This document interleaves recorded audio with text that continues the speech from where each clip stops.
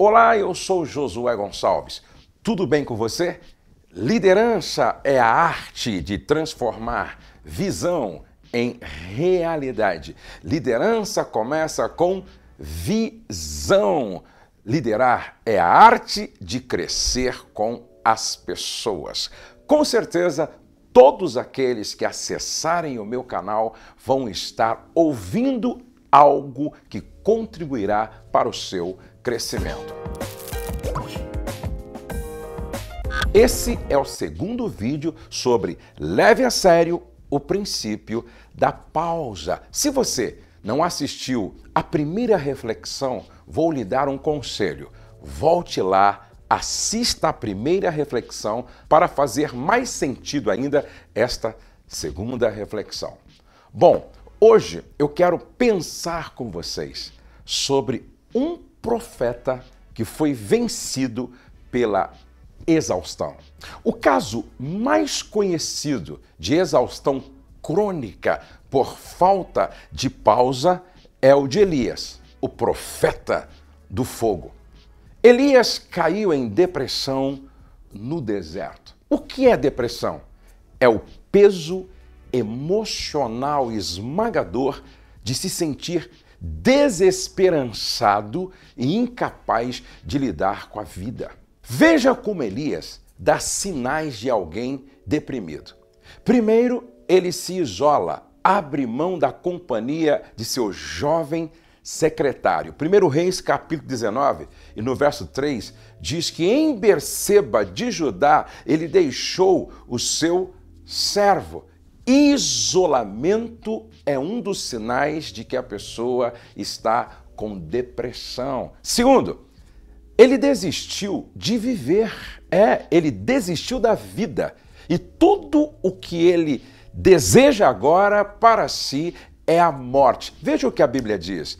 Ele mesmo, porém, se foi ao deserto, caminho de um dia, e veio e se assentou debaixo de um zimbro e pediu para si a morte e disse: Basta, toma agora, ó Senhor, a minha alma, pois não sou melhor do que meus pais. Isso está lá em 1 Reis, capítulo 19, verso 4. Ele desistiu de viver. Outro sinal de depressão. O terceiro sinal que revela que Elias estava com depressão é que ele perdeu o senso de valor próprio. Presta atenção, ele perdeu o senso de valor próprio. Olha o que ele diz em 1 Reis, capítulo 19, verso 4.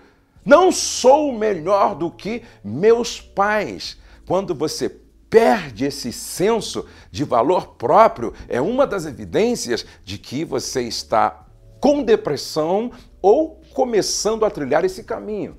Quarto sinal que revelava que Elias estava deprimido.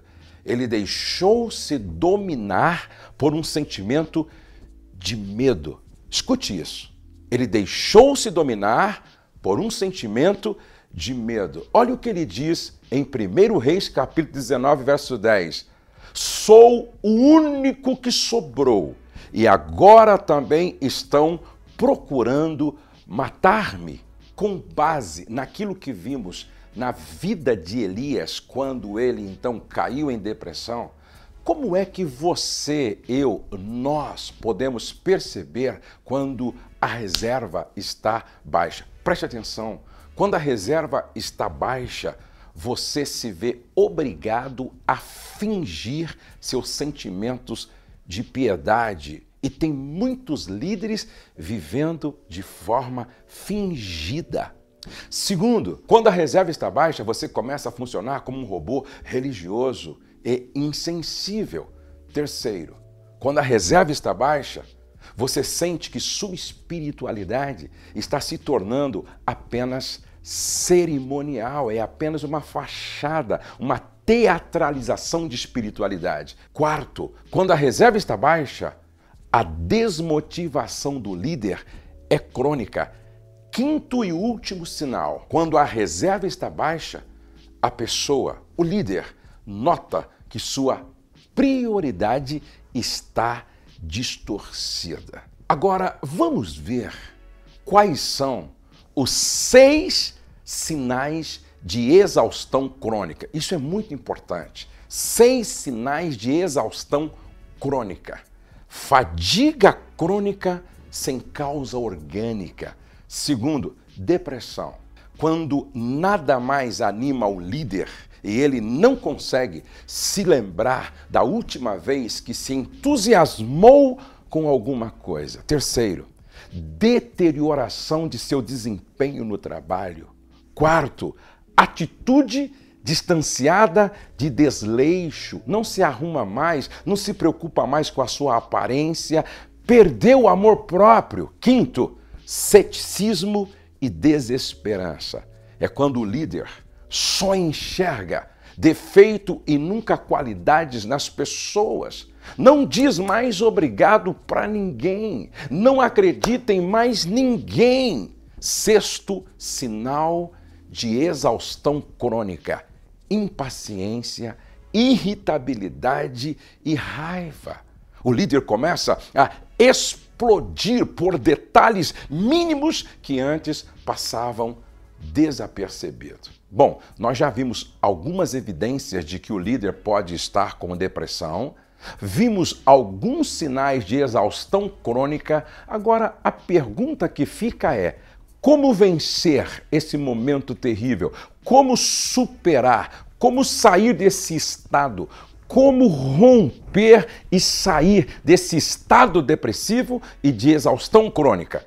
No próximo vídeo eu vou então mostrar para vocês como é que a gente pode reduzir o estresse e vencer esse quadro de depressão e exaustão crônica. Você não pode perder o próximo vídeo aonde eu vou dar algumas instruções, algumas orientações que vão ser decisivas para que você alcance uma espiritualidade emocionalmente saudável. Você gostou? Então clica aqui embaixo no gostei. Compartilhe este vídeo com amigos ou com seus liderados. Deixe aqui embaixo também a sua sugestão, a sua observação ou a sua pergunta. E lembre-se, nenhum sucesso justifica o fracasso da família de um líder. A sua liderança tem que fazer toda a diferença. Deus abençoe e até o nosso próximo encontro.